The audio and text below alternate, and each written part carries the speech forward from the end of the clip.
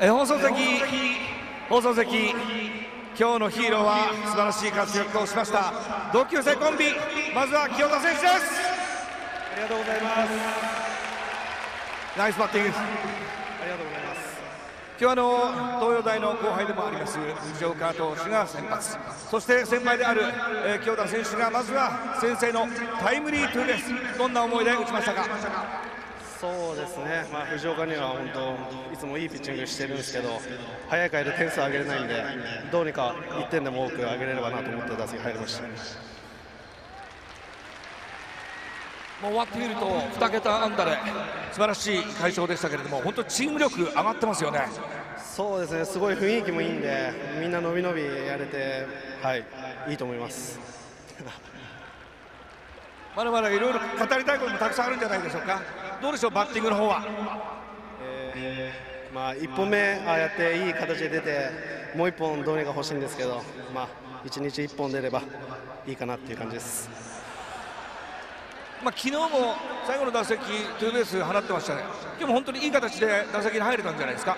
そうですね、昨日最終打席でああやって1本出たんで、今日はすごいいい感じで入りましたさあ、これで、えー、連勝としまして、明日も大事な試合が続きますが、明日に向けて、一言お願いします。えー、明日は2本打てるように頑張りますので、また応援よろしくお願いします。さあまずは見事な先制ツーベースヒットを放ちました清田選手でした。大きな拍手お願いします。さあ続きまして素晴らしいリリーフを見せていただきました。お帰りなさい。内投手ですありがとうございます。え昨日もゲームセットの瞬間いい表情しておりましたが今日も本当に素晴らしい火消しでベンチに戻った時も本当にいい表情でしたね。よかったです。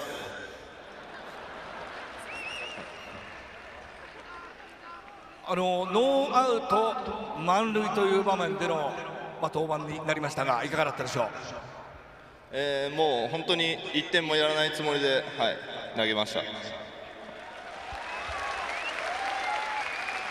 昨年の夏に手術をして長い離脱となりましたけれども、ま、ずっとこの1軍でのマウンド夢見ていたんじゃないでしょうか？